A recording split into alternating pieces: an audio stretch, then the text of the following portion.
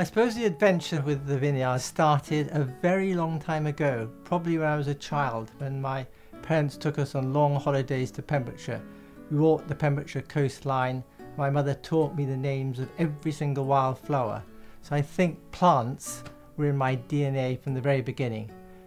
I inherited the land from my father, who died when I was in my early 20s.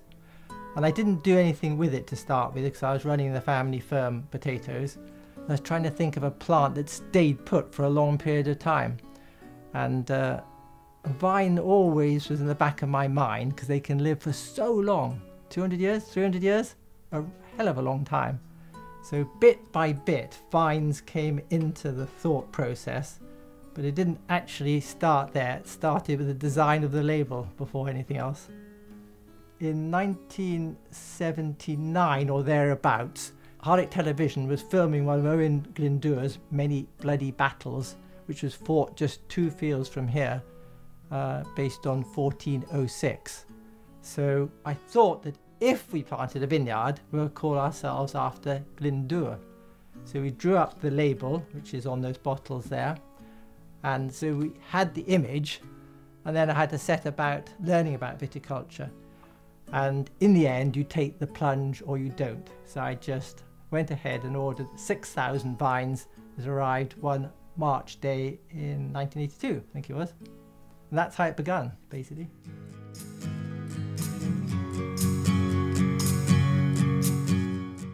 As a child growing up here at Glyndwr Vineyard, it was so magical, so many memories running up and down the rows of the vines, helping at harvest and taking huge bucket loads of grapes up to the tractor. All of my childhood memories are based here, and it's such a, a big thing for me to say this is now my job and my profession and I've got such passion to put into it for the future.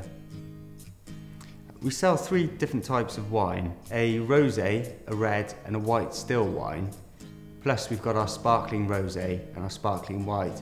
We've recently introduced three new items. We've got a lager, a beer and a cider, all named after our llamas.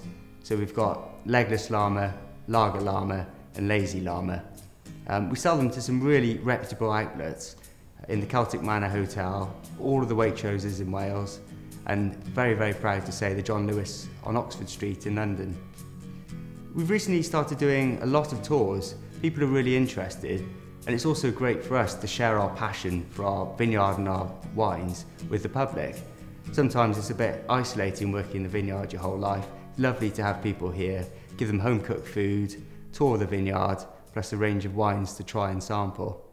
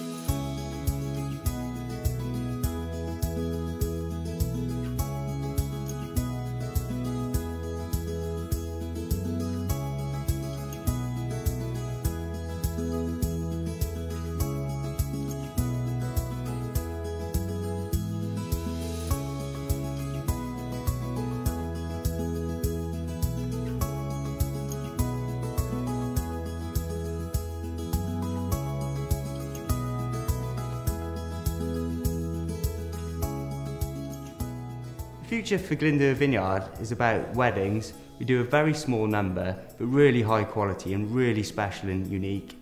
Uh, we've got our B&B and our accommodation here at the vineyard, which we'd love to improve and promote. And the future's about my brother and I taking over as the next generation and putting new innovative ideas into the vineyard, but also taking on the history that Dad's left us. Throughout these years, with the weather throwing everything at it, especially this summer, endless rain and winds, you can still grow grapes here. That is very satisfying.